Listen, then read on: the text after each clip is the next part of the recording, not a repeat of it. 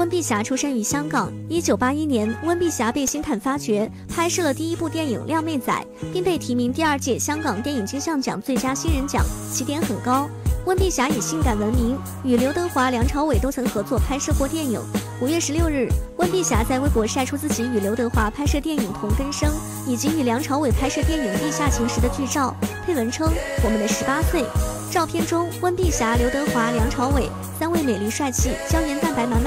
据悉，电影《同根生》上映于一九八九年，《地下情》则上映于一九八六年。网友看到照片后评论：“永远的女神，真是从小美到大。”更多精彩资讯，请关注匠心影视哦。